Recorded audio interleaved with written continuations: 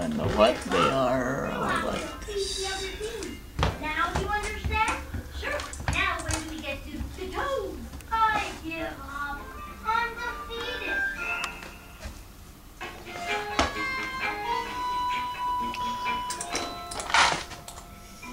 Someone stole the secret formula for the soup. They say a dog helped them. Who is they? Yeah, the people who work at the factory.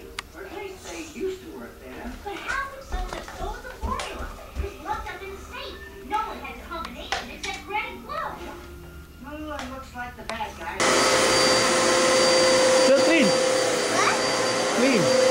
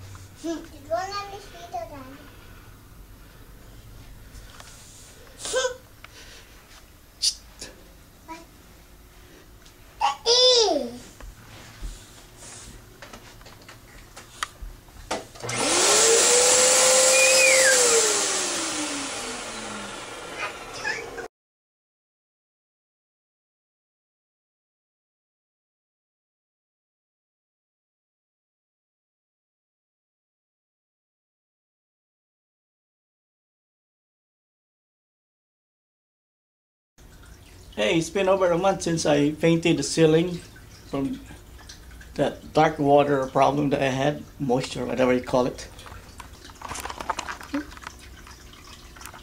See, it's not peeling and there's no more moisture in there.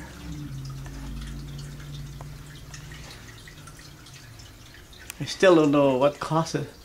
I still don't know what caused the thing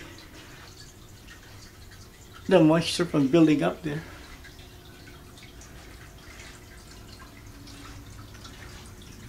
Yeah, no, the paint doesn't match, but uh, as long as it's not peeling up, I'm fine with it. Alright, thanks for watching. Bye. Daddy, Daddy, Daddy.